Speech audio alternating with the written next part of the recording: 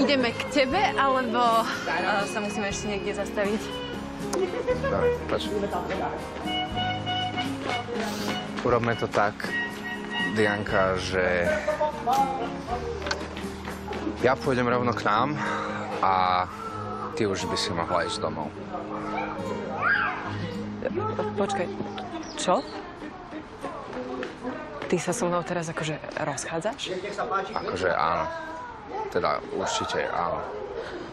Rád by som. To kvôli Agate, že? Prestaň do toho ťahať Agátu, ty vole. Už som ti povedal, že s Janošom sme len kamaráti. Lebo aj tvoj otec ju má radšej ako mňa. Môj otec nevie rozoznať slona od kakauka. A myslím, že v dohľadnej dobe sa to ani nezmení. Diana, ty si strašne správna baba.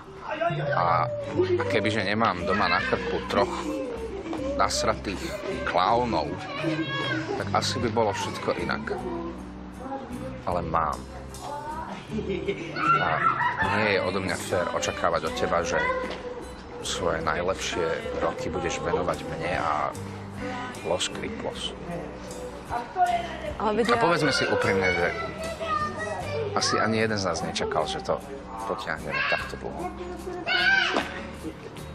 OK. Ale bolo to fajn. Bolo.